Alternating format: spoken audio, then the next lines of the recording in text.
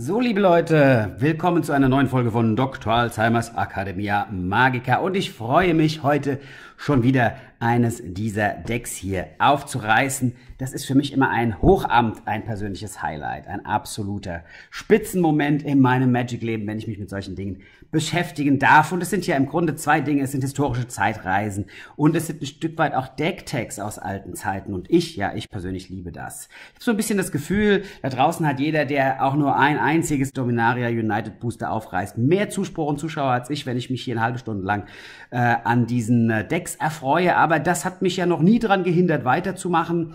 Die ersten beiden Videos sind erschienen zu den ersten beiden Decks. Das waren äh, Michael Loconto und Eric Tam. Sehr viel Material gibt es dazu im Internet nicht. Ich mache da einfach mal weiter und lasse mich davon nicht beirren, dass diese beiden Videos, obwohl immer so viele Leute mir sagen, mach das bitte, das ist toll, das ist spannend, das interessiert mich, so wenig äh, Zuschauerzahlen im Augenblick erreichen. Ich glaube, das hat entweder damit zu tun, dass die Leute mein Gelaber schrecklich finden oder damit, dass eben alle Leute damit beschäftigt sind, aktuelle Produkte aufzureißen, ja, weil man da ja so tolle Legends Booster äh, Karten ziehen kann. Klammer auf, im Grunde ist das Verarsche, denn die zieht man eh nicht und wenn man sie zieht, sind sie nichts wert. Für den Preis, den man für äh, Dominaria United Collector Boosters ausgibt, äh, könnte man sich problemlos auch Legends Karten slash Booster kaufen. Aber Rubbellose sind so viel geiler als das echte alte Zeug, ne? Ironiemodus aus. Ich bin heiß, ich bin heiß, heiß, heiß auf altes Zeug. Das wisst ihr, dafür seid ihr hier, deswegen seid ihr die Unermüdlichen, die hier einschalten. Klar, ich kann zwischendurch auch mal äh, was Aktuelles aufreißen. Ich wurde auch letztens gefragt, macht doch mal wieder was Aktuelles oder kommt auch noch was zu Dominaria United. Ich kann dazu nur sagen, äh, ich bin im Sparmodus im Augenblick. Ich weiß nicht so wirklich, wie meine Heizkosten ausfallen werden. Meine Stromrechnung ist jetzt schon gigantisch, meine Gasrechnung ist angekündigt, schon ziemlich fies und ich möchte einfach nicht so viel Geld in den Orkus von Wizards Marketing werfen. Es wird sicherlich mal das eine oder andere Dominaria United Booster kommen, aber wer das gucken will, da gibt's andere tolle Kanäle für. Seelisch und moralisch interessiert mich im Augenblick zwei Booster Produkte, auf die ich mich vorbereite. Das ist Brothers War. Das interessiert mich viel mehr, weil wir da viel aktuelles äh, Gewand von alter Geschichte finden. Also sehr viele äh, Dinge, die aus der Original-Story von damals reinkommen. Und ähm, ja, ich weiß, es gibt ja auch noch dieses Remastered-Produkt. Da werden wir uns vielleicht auch mit beschäftigen. Und natürlich warte ich auf Herr der Ringe, ähm, wobei ich jetzt schon schreckliche Dinge gelesen habe und mir nicht ganz so sicher bin, ob ich dieses Produkt kaufen werde, wenn die Dinge, die angekündigt wurden, sich bewahrheiten. Denn als strenger Tolkienianer, der tief verwurzelt in der Geschichte äh, Mittelerdes ist, habe ich Schwierigkeiten bei einigen der Handgriffe, die jetzt geplant sind. Aber das ist alles Geschmackssache. Schauen wir mal. Das Schöne daran ist, wer hier einschaltet, weiß, er kriegt Oldschool altes Zeug oder 90er, der kriegt Nostalgie und Flair der alten Zeiten. Und damit, damit machen wir jetzt weiter. Ganz egal. Und wenn nur zwei Leute zuschauen würden, würde ich es trotzdem machen. Das wisst ihr ja, das ist Hardcore. Auch wenn vielleicht der eine oder andere sagt, ach, das war doch so hübsch, wie deine goldenen Hände Booster aufgerippt haben oder wie du stundenlang neue Booster aufgemacht hast. Das wird auch irgendwann mal wieder kommen, wenn ich das Gefühl habe, ich möchte mein hart erarbeitetes Geld da hineinwerfen. Das ist im Augenblick einfach nicht der Fall. Und da ich mich sowieso für Secret Layers fast noch nie interessiert habe und auch sehr viele der flashy, bling, bling, äh, Alternative Art Art Foil-Krempel-Sachen mich noch nie interessiert haben oder ich nur ab und zu mal daran ein bisschen Freude erfinden konnte. Throne of Eldraine zum Beispiel, das fand ich ganz toll. Jeder muss seine Prioritäten setzen, nicht jeder hat Zeit, jeden Tag 20 30, 50, 200 Minuten YouTube zu schauen und manche ähm, sind einfach breiter aufgestellt und haben mehr Interesse an solchen Dingen als ich. Es gibt, wie ihr wisst ja, im, im äh, Magic-Bereich die Finance-Kanäle, dann gibt es die ähm, Deckbaukanäle, dann gibt es die Kanäle, die Turnierbezug haben, die Kanäle, die alles covern und die Kanäle, die sich sehr viel mit Marketing und aktuellen Produkten beschäftigen, auch die Kanäle, die Lore und Geschichte und so weiter abarbeiten. Und meiner ist nun mal ein Community-Kanal, der ähm, Spielende der alten Zeit erinnern erinnernden Nostalgiker der alten Zeit, Freunde der alten Zeit und solche, die es werden wollen, zusammenbringt mit einem Blick in Dinge, die aktuell passieren, hinein äh, immer dann, wenn es darum geht, was meine Kinder heiß finden und was die gerne machen möchten. Da haben wir viele Videos zu gemacht. Ich habe viel aktuelles Zeug aufgerissen. Aber es ist nun mal so, 21 und 22 waren nicht die Jahre, in denen ich aktuelles Zeug so super sexy fand. Capenna ging mir ziemlich weit an meinem etwas schon älteren Wertesten vorbei.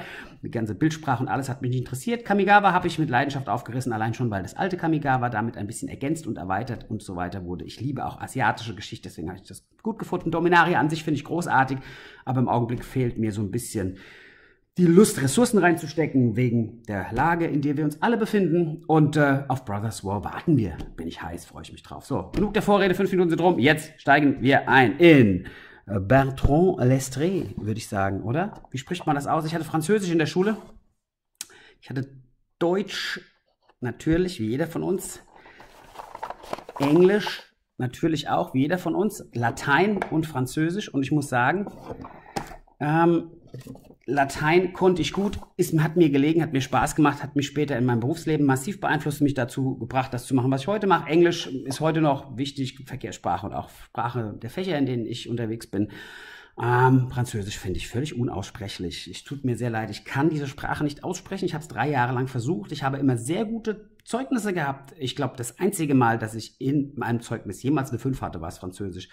Und die Lehrerin hat mich immer bemitleidet dahingehend, dass ich einfach Knoten in der Zunge habe, wenn diese merkwürdigen Accents kommen und so weiter. Ich kann das nicht aussprechen. Es geht nicht. Es ist mir schlechterdings unmöglich und deswegen habe ich das auch einfach hingenommen. Ja. So, gucken wir mal, woher dieser liebe Bertrand, Bertrand Lestri, Lestré, keine Ahnung, kommt. Wie auch immer man das ausspricht. Ich glaube, er ist Franzose. Er wird nämlich hier oben erwähnt, denn er hat gegen Michael Oconto gespielt. Und es muss, glaube ich, ja, es war das Finale. Er ist quasi dann also Vizemeister geworden. Ne? In diesem wunderbaren Event, zu dem ich gleich noch was sagen werde. Er war 25 Jahre alt, Business Development Strategist from France. Und er hat ein 60 Karten grün-weißes Deck, das verschiedene Matches gewonnen hat, indem er seine gegnerischen Permanents mit weißen Sprüchen beseitigt hat und dann eine starke Kreatur für den Kill rausbrachte. Also im Grunde auch gar nicht so wieder anders als die vorangegangenen Decks. Die ersten drei Decks dieses Päckchens hier, die sind tatsächlich massiv geprägt von der Farbe Weiß. Er hat also darüber hinaus auch noch die Sylvan Library und Lentex Combination sehr nützlich oder sehr gewinnbringend eingebracht. Bibliothek immer mal wieder gemischt so dass er, dass sein Gegner mehr Land im Spiel hatte, um so drei neue Karten der Sylvan Library zu kriegen. Das ist eine super schöne Combo. Und ähm, er hat eine ganze Menge starker Mass Destruction Capabilities gehabt, darunter Armageddon, Wrath of God und Balance, also das, was Weiß kann zu der Zeit. Er sagt über sein eigenes Deck, it's really quite a basic deck, also es ist ein ziemlich basales Deck im Grunde. The only thing is there are several cards which are powerful themselves and the combination of these cards is really, really powerful. Also einige Karten sind selbst powerful und die Kombination dieser Karten ist noch, noch mächtiger. Seine, ach so, seine, seine besondere Fähigkeiten war, permanent Extra Life zu benutzen, indem er Ivory Towers und Soren Orb genutzt hat. Ähm, und damit auch noch extra Karten aus der Silver Library ziehen konnte, weil die kostet ja jeweils äh, zusätzlich Lebenspunkte, die Karte, die man dann behalten will. Er hat einen 6-1-Sieg oder Rekord, weiß nicht, das nennt man, glaube ich, ähm, ähm, also nicht Rekord im Sinne von Rekord, sondern Ergebnis gehabt, um sich für die Runde der 16 zu qualifizieren. Dann hat er Sean the Hammer Renier besiegt, den wir auch noch sehen werden in einem der nächsten Videos im Viertelfinale und dann ähm, kam er ins Finale. Leon Lindbeck hat er auch geschlagen, auch einer der Kollegen, die hier noch drin sind. Ja, und das war, wie ich schon ein paar Mal erzählt habe, hier oben kommt die ähm, Playlist zu den WCD-Decks, in denen die bisherigen Decks drin waren. Das war ein Tournament, also ein Turnierkonzept, in dem die Spieler aufeinander trafen und aus den damals verfügbaren Sets, und das waren die vierte Edition, Chronicles, Fallen Empires, Homelands, Ice Age, ähm, Decks zu basteln, 60 Karten Decks zu basteln.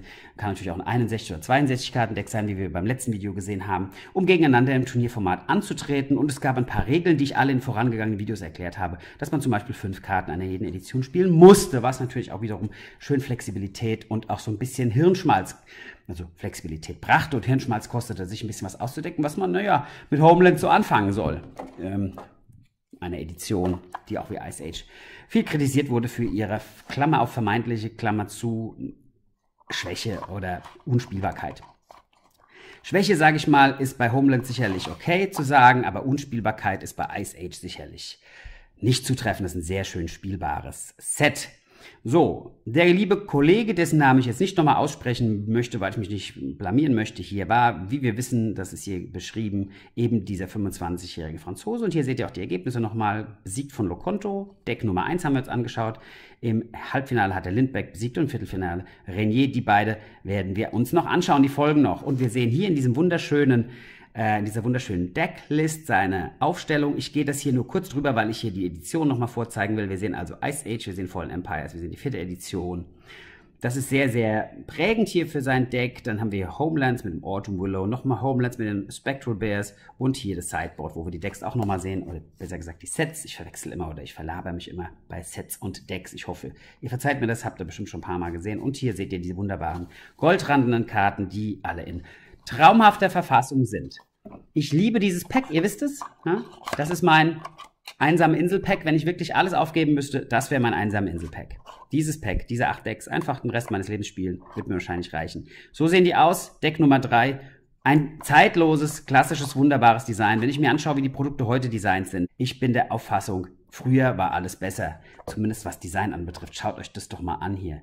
Ja, das ist Classic. Gold, schwarz. Fertig aus. Heutzutage muss alles flashy und bling bling sein. Aber jeder, der so ein bisschen tiefer im Design drin ist, wird euch sagen, schwarz ist ohnehin die Farbe überhaupt, ne? Schwarz ist gar keine Farbe, hat man mir jemand gesagt. Schwarz ist im Grunde eine Lebenseinstellung. Ja.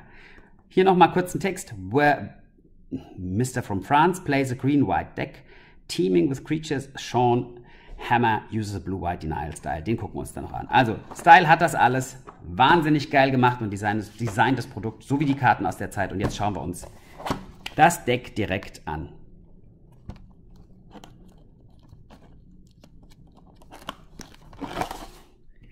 Ich habe euch das ja schon gezeigt. Ich habe ja diesen Schuhkarton, wo ich die Decks alle hier gesleeved in diesen Plastikboxen drin habe, sodass man das als Brettspiel rausholen kann, wenn Gäste zu Besuch kommen, einfach am Tisch stellen, aus spielen. Die Leute, die in der Zeit dabei waren, werden sofort ein Wiedererkennungsgefühl haben, werden sofort sagen, oh ja, das ist es, was ich damals hatte. Denn, und das habe ich auch schon ein paar Mal erzählt, es sind ja gar nicht die 93, 94er Jahre, die die Jugendlichen von damals so massiv optisch und spielerisch beeindruckt haben, sondern eher die 94, 95er Jahre. Denn 93 war Magic in Deutschland im Grunde noch gar nicht wirklich vertreten. Insofern ist das quasi eine Konserve oder eine Flaschenpost, möchte man sagen, aus der Zeit, in der Magic wirklich, wirklich aufstieg zu einem großen Phänomen in Deutschland. Und deswegen ist das natürlich auch das Produkt, das ich mitnehme, wenn wir uns treffen hier zum Klassentreffen wir hatten 25-jähriges Abi, es müsste jetzt bald 30-jähriges Abi anliegen und so ein Kram. Da sind wir dann, ja, da, da sind wir dann heiß drauf. Dann bringe ich die Dinger mit und dann wird ein bisschen gezockt. Das passt. So, wir haben hier ein Deck, genau wie die ersten beiden Decks. Wir wiederholen uns, das sehr stark geprägt ist von der Farbe Weiß, aber es ist ein Tick anders. Im Grunde, im Grunde ist das jenes berühmte Ernam Geddon Deck. Und es ist ein bisschen anders als das Original Oldschool Geddon Deck von 93, 94, weil natürlich jetzt hier Ice Age drin ist und nicht die anderen alten Sachen. Die Four Horsemen, wie Rudy sie nennt, wie sie damals natürlich nicht gehießen haben, das ist auch wieder nur ein neumodischer Begriff für etwas Altes. Die hießen natürlich 93, 94 nicht Four Horsemen. Das ist äh, aus der amerikanischen Magic-Sprache entnommen oder entsprungen. Damals hat man die einfach beim Namen genannt. Die sind hier nicht mehr drin, so wie viele alte Karten aus Alpha, Beta, Unlimited und Revised. Deswegen ist dieses Ernam-Geddon-Deck natürlich nicht deckungsgleich mit dem klassischen Ernam-Geddon-Deck ja schon allein die Landbasis ist eine andere, wie wir wissen, sind keine Duels drin, aber es ist das Ernam-Geddon-Deck der Gestalt, wie man es eben 95, 96 spielen konnte und deswegen doch sehr prototypisch. Damals wie später hat man natürlich die Swords to Plowshares gehabt, auch das wieder eine Wiederholung, ähm, im Grunde schon ein Déjà-vu-Gefühl, hatten wir alles schon erlebt, der letzten beiden Videos. Ganz prägende Karte, habe ich tausendmal gesagt. Ganz wichtig, unverzichtbares ähm, Removal, hier ist jetzt zweimal die Landtext drin, die ist auch in den anderen Decks drin gewesen. Hier speziell in Kombination mit der Sylvan Library, wie ihr gesehen habt, in der Einführung. Ganz bedeutsam, denn die Sylvan Library erlaubt es dir, drei Karten zu ziehen ähm, und äh, die Landtax erlaubt es dir, Karten aus dem Deck zu holen, Basic Land Cards, jeweils gemessen an der Anzahl der Länder, die der Gegner hat. Und so kann man eine wunderbare Interaktion entstehen lassen. Man gewinnt also einen Wissens-, einen Karten-, einen Mana-Vorteil dadurch. Das ist sehr, sehr mächtig. Und dann kommt natürlich hier wieder, was an Removal dazugehört. Hier die Balance bei uns einmal restricted. Ich glaube, in diesem Format auch. Ganz wichtige Karte, tausendmal erzählt, die es erlaubt, ähm, Handkarten, ähm, Länder und äh, Kreaturen zu nivellieren auf das Niveau dessen, der am wenigsten von, mir, von der jeweiligen Kategorie im Spiel hat. Das ist sehr nützlich in manchen Situationen, weil es das krasseste Massenremoval sein kann, das man überhaupt auf den Tisch bringen kann.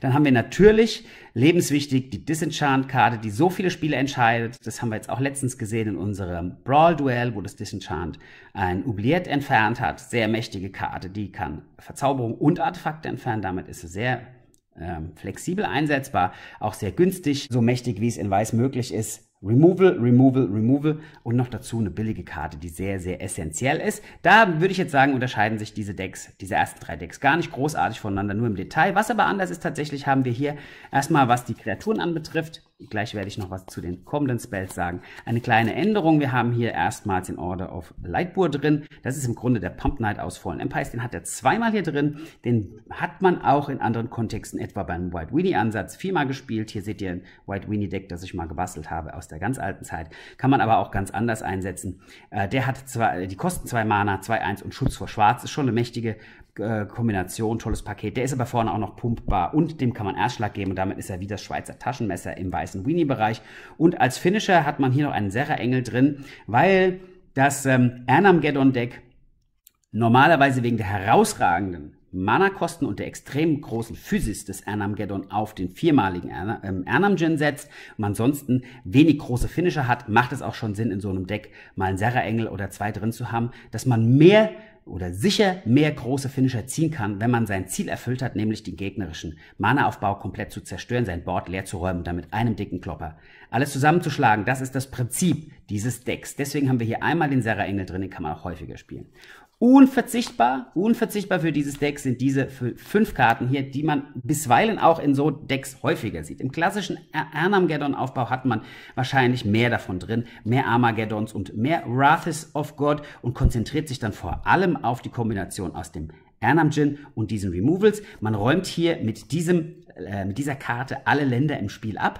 Mit dieser Karte räumt man alle Kreaturen ab. Es passiert ja durchaus oft in so einem Aufbau, in so einer Auseinandersetzung, in der man selber auf große Kreaturen wartet, dass man den schnell spielenden Gegner mit seinen vielen kleinen Kreaturen erstmal behindern muss. Dafür ist natürlich hier die Wrath of God sehr nützlich. Man kann das komplette Board leer räumen, solange man noch nicht stehen hat. Deswegen ist es auch sinnvoll, noch nicht so viele eigene kleine Kreaturen zu haben. Die braucht man für dieses Deck gar nicht. Das ist gar nicht das Sinn der Sache. Man wird sehr viel Einzeltargets beseitigen oder eben alle beseitigen. Aber entscheidender noch, wesentlich entscheidender noch ist der Armageddon, denn der Trick besteht im Grunde darin, zum richtigen Zeitpunkt, wenn man selbst noch Mana auf der Hand hat, deswegen macht es auch Sinn beim Armageddon noch äh, Mana auf der Hand zu haben, also Mana nach der Zerstörung aller Länder ausspielen zu können.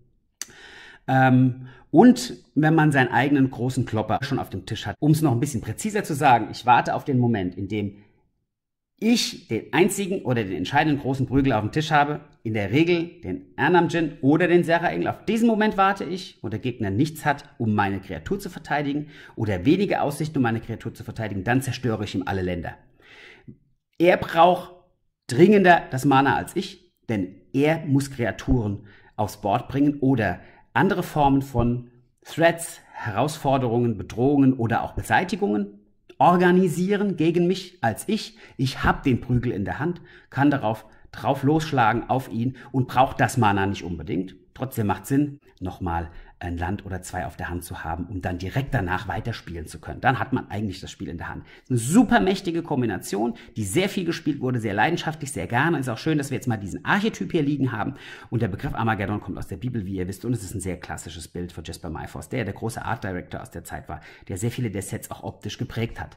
Sehr, sehr wichtig. Das ist eines der Cornerstones neben den ganzen Removals für einen solchen ähm, großen Ansatz äh, alles beseitigen bis auf meinen großen Prügel und dann alle Länder zerstören. Man hat auf der anderen Seite dann, weil ich so viel drüber gesprochen habe, ziehe ich es jetzt vor, eben diese vier hier ganz entscheidenden Karten. Das ist eine Schlüsselkarte, die ist ähm, je nachdem, wie man das Deck aufbaut und variiert, immer mal begleitet von einem Serra-Engel oder von noch einer anderen großen Kreatur oder steht hauptsächlich im Mittelpunkt. Hier sieht man schon, dass die im Mittelpunkt steht.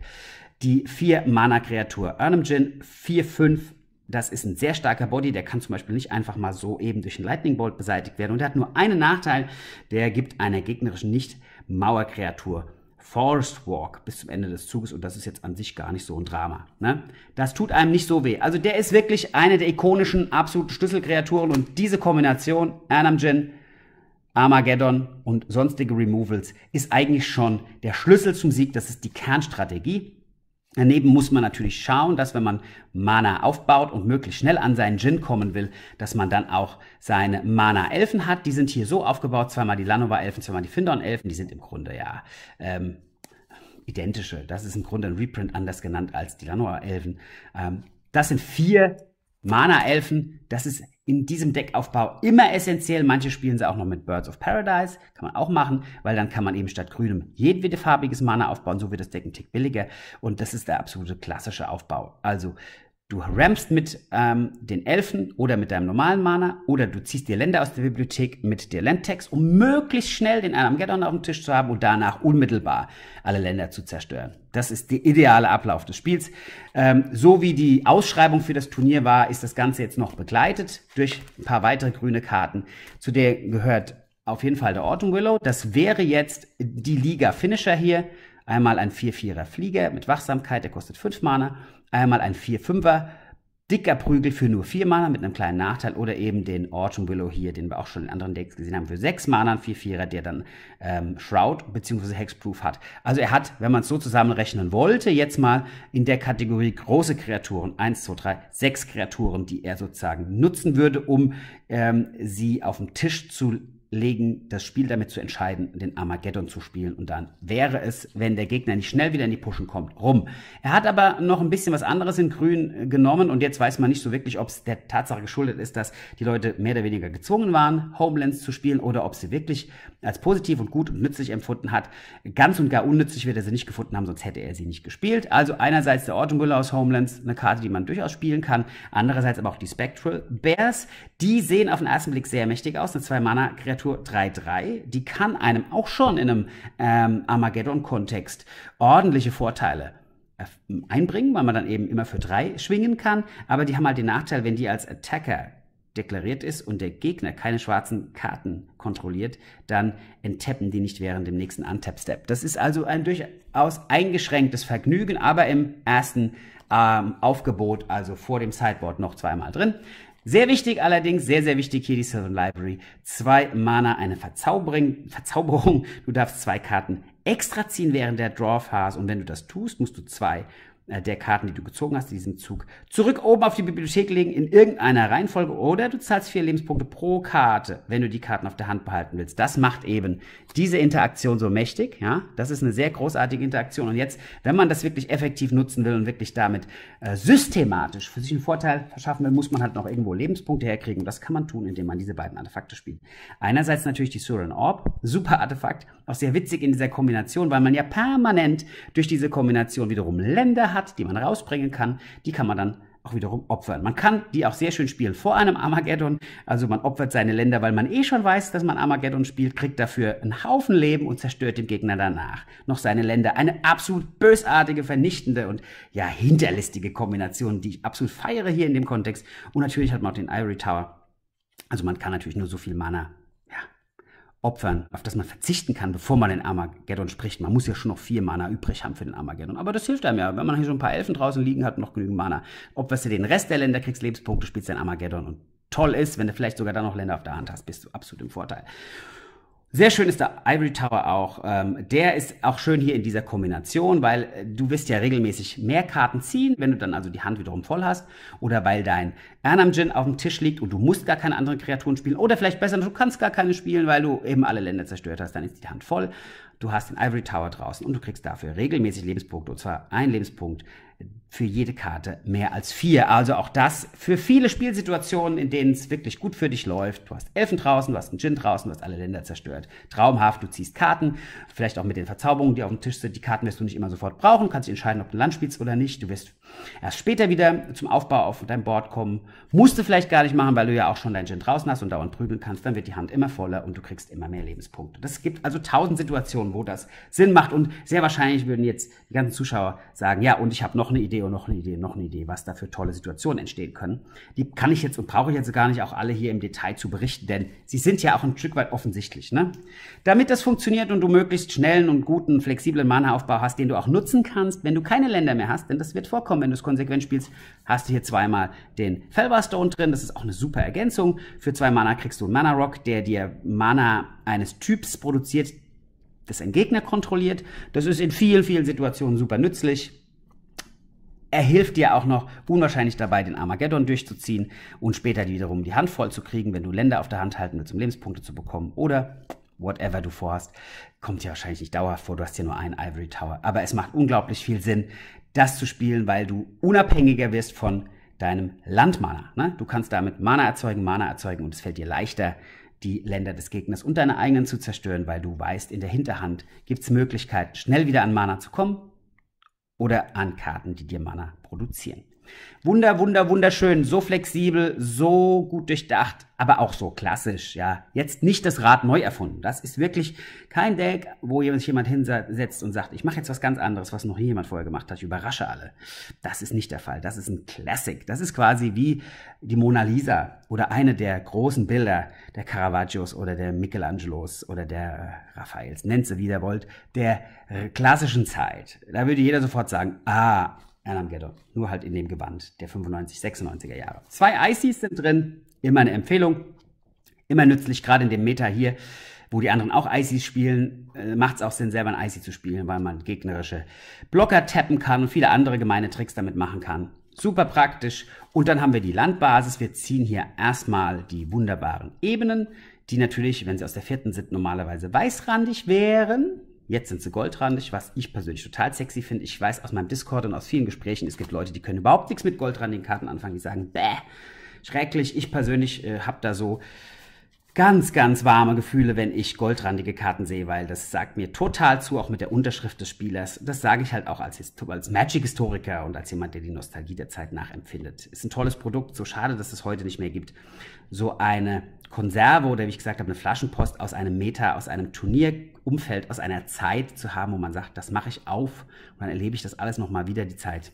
Das ist was, was man heute durchaus mal ein bisschen intensiver verfolgen könnte als Produktpolitik. Hier sind die Länder, ähm, die Wälder, auch aus der vierten. Und dann kommen wir zur Mana-Basis, die über Ice Age jetzt ähm, gesteuert, organisiert ist. Ihr wisst ja, die Duels aus Revised sind weg. In dem Meta dürfen sie nicht gespielt werden, also braucht man andere und das macht natürlich dieses Meta aus der Zeit so attraktiv, weil man eben ganz nette Duels hat, die durchaus brauchbar waren. Das sind die sogenannten Painlands. Du kannst die kostenlos und ungetappt rausbringen. Das ist an sich schon mal gut, weil du farblose Mana kriegst, aber du darfst für einen Schadenspunkt auch das Mana erzeugen, das du für dieses Deck brauchst. Also wunderbar.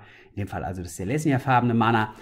Äh, die sind natürlich tausendmal billiger als die Duels, weswegen diese Decks, äh, so meine Empfehlung, äh, tatsächlich auch ein schöner Einstiegspunkt für Magic sind. Also wenn man altes Magic der 90er, habe ich ja auch im ersten Video erzählt, nachempfinden möchte und nicht das ganz große Geld ausgeben will für tausende Euro, wo man wirklich jetzt hier vier dieser teuren Duels kaufen muss und das ganze andere Zeug, dann ist es gar nicht so schlecht einzusteigen in die Zeit, wo Ice Age zum Meta hinzukam, weil man dann günstige Duels bekam und plötzlich Deck-Archetypen spielen konnte, die günstiger wurden. Strip Mine hier viermal drin.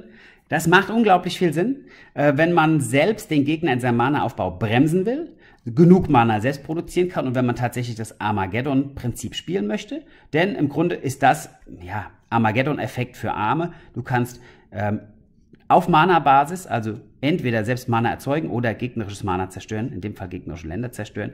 Das kannst du sehr schnell machen, sehr effektiv machen. Das ist eine sehr, sehr, sehr böse Strategie, die, die Gegner auch sehr nervt und dir unglaubliche Geschwindigkeitsvorteile erzeugt wenn du jetzt nicht direkt den Armageddon spielen kannst, ist das auch die Strategie, um voranzukommen. Der Gegner kann eben nicht so viele Blocker oder Gegenreaktionen machen, wenn sein Mana-Aufbau gebremst ist und du selber beschleunigst dein Mana damit massiv. Ist ohnehin eine ganz wichtige Karte im Oldschool. Und dann haben wir noch zwei Karten aus Fallen Empires, die Runes of Trocare und den Havenwood Battleground. Das sind Tabländer, die kommen also getapptes Spiel, die erzeugen dir weißes bzw. grünes Mana. Du kannst aber opfern und kriegst dafür das Doppelte, also einmal zwei, einmal ähm, zwei grüne, einmal zwei weiße. Das ist in dem Kontext hier gar nicht doof, denn man hat ja eh vor, Länder auf dem Friedhof wandern zu lassen. Ne? Also sie werden eh zerstört, so oder so. Da kann man sie auch vorher nochmal opfern, um Mana zu erzeugen. Auch das gibt wunderschöne Interaktionen hier. Ne? Ganz tolle Interaktion. Das ist ja dann im Mana-Pool. Da kann man wieder danach gleich nach dem Armageddon was mitmachen und so weiter. Süß, traumhaft, wunderbar, Spitzendeck. Richtig geil, gefällt mir unheimlich gut. Das Sideboard hat dann noch ein paar Antworten auf bestimmte Situationen. Eine äh, Antwort davon ist der Whirling Dervish. Der ist hier zweimal drin. Für zwei Mana 1-1er mit Schutz vor Schwarz. Und du kannst jedes Mal, wenn er dem Gegner Schaden zuteilt, eine 1-1-Counter drauf machen. Der wird, wenn du es richtig machst, sehr schnell, sehr groß und kann auch wunderbar eingesetzt werden in diesem Armageddon-Kontext. Dann haben wir den Wrath of God nochmal als zusätzliche, ja, wo war hier irgendwo unten drunter, als zusätzliche äh, Ergänzung als ähm, Sideboard-Option für den Fall, dass du mit sehr schnellen Weenie-Decks konfrontiert bist. Da brauchst du den wahrscheinlich öfter, um das Board leer zu räumen oder du musst die Wahrscheinlichkeit steigern, ihn zu ziehen. Wir haben noch eine weitere Kopie vom ähm, Order of Lightboard drin, der hier nur zweimal im ersten Deck ist. Da ist er jetzt nochmal drin als dritte Karte. Wir haben zweimal Karma. Das ist eine wunderbare Antwort auf Schwarz. Im Grunde, wenn sie liegt, eine absolute Killerkarte gegen Schwarz, weil jeder Spieler einen Schadenspunkt bekommt für jeden Sumpf, den er oder sie kontrolliert. Und das geht dann sehr, sehr schnell nach oben. Äh, wenn die erstmal liegt, habe ich damit auch schon eine Menge Spiele gewonnen. Allerdings ist sie halt sehr spezifisch auf schwarz zugeschnitten und dann ist sie halt nur als Sideboard-Karte wirklich nützlich. Das gleiche gilt für den Circle of Protection hier in beiden Fassungen. Einmal der Oldschool-Fassung, einmal der Ice Age-Fassung. Damit kannst du Schaden aus roten Quellen verhindern. Hier kannst du noch Schaden aus äh, grünen Quellen verhindern. Auch hier der grüne Schutzkreis, einmal in der alten, einmal in der neuen Version. Dann haben wir noch das Divine Offering, zweimal hier drin. Das Divine Offering ist im Grunde eine Ergänzung zu ähm, dem ähm, Disenchant kann Artefakte zerstören und Lebenspunkte kreieren. Das ist eine sehr kluge Wahl, wenn ich eine Sylvan Library spiele, denn dann brauche ich gegebenenfalls Lebenspunkte, um wiederum Karten zu kaufen. Das ist keine schlechte Idee und zumal dann auch nützlich, wenn ich gegen sehr artefaktlastige Decks arbeiten muss. Dann haben wir was Besonderes drin hier, nämlich den äh, Abbey Gargoyle.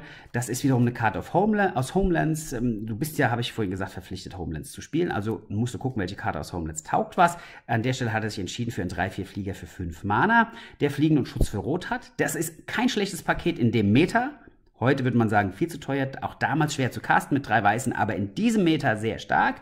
Ähm, deswegen eine Option, den zu spielen und als Schluss noch die Black-Weiß-Klassiker. Für jede Karte, die du mehr in der Hand hast als vier, kriegst du einen Schadenspunkt. Die kann man in dem Armageddon-Deck natürlich auch durchaus öfter spielen und auch im Hauptdeck spielen. Die Varianten kenne ich, habe ich schon ein paar Mal gesehen, denn es macht Sinn. Der Gegner wird durch die vielen Landzerstörungen und durch die Tatsache, dass er dann sehr langsam nur zu Mana kommt, oft eine volle Hand haben und damit kann man ihn sehr schnell auch vom Leben runtergrinden. So, das war das Sideboard. Ja, und wundert mich nicht, dass das im Finale gelandet ist. Also das, äh, da weiß man, dass das funktioniert. Das äh, hat man gesehen in vielen, vielen Spielen, Kontexten der damaligen Zeit. Es ist super effektiv, es ist leicht äh, verständlich, man muss ein gutes Timing haben, man muss wissen, was man wann spielt. Man kann es aber auch leisten. Es ist nicht das allerteuerste Deck aller Zeiten. Es ist auch ein schönes Deck für Einsteiger im Oldschool und es macht unglaublich viel Spaß. Ja, habe ich jetzt genossen. Ich hoffe, ihr auch und wir machen weiter. Ich habe es ja gesagt, wir machen einfach weiter. Zwischendurch zeige ich euch Partien aus unserem Brawl-Event. Ich habe auch noch hier so ein paar verpackte Themendecks, die noch fehlen, sind nicht mehr viele auf unserer Suche, auf unserer ewigen Suche nach allen Themendecks. Aber das hier, das geht jetzt im September weiter. Wir haben das dritte, es kommen noch Fünf. Ne, fünf. So, alles klar. Ich danke euch. Bis zum nächsten Mal. Tschüss.